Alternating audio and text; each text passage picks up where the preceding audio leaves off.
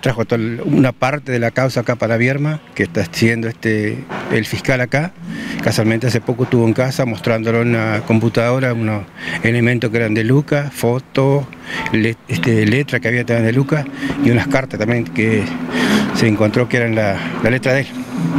Así que bueno, esperamos a ver qué pasa con todo esto, a ver si sale algo nuevo. ¿Cuál es tu pedido tu mensaje para la comunidad que está escuchando? No, que los, ojalá que los pudieran acompañar, pero lástima que la gente no se anima a acompañar, no sé si por miedo o por qué, pero el asunto que la gente acá de Vierma, sabiendo que tantos casos están pasando acá en Vierma y la gente no se anima a acompañarlo. ¿Por qué crees que pasa eso? Y por temor al, que va a, entrar el candidato ahora el, 11 de diciembre. Es todo por eso. Y tanto a la ministra, que nunca tampoco me, no me quiso atender, así que... Muchísimas gracias, Benjamín. Si vos te pones a ver los nombres que fueron surgiendo en la investigación de Luca, todos eran efectivos de la policía y ninguno era eh, un oficial.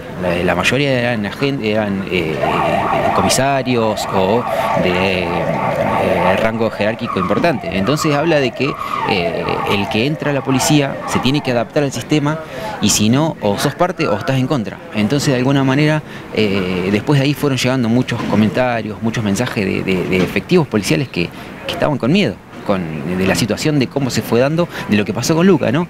Secuestran un efectivo de la policía, yendo a trabajar, uniformado, lo tienen retenido 27 días y después aparece, aparece de la misma manera que, desapareció y habla de, una, de un entramado importante. seguimos pidiendo eh, la justicia que no encontramos.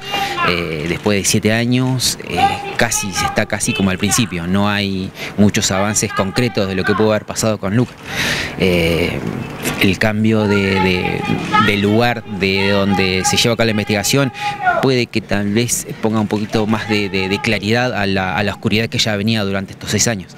Eh, a esperar ahora a ver qué arrojan los resultados de las, de las pericias, de las cosas que encontraron en, la, unidad donde trabajaba él y, eh, y ver. Es lo único que nos queda, es esperar y ver a ver qué pasa con el proceso de la investigación. Entonces, ¿cuál sería el mensaje también para la comunidad en, un día como hoy? Eh, el que no se olviden que no se olviden de lo que pasó.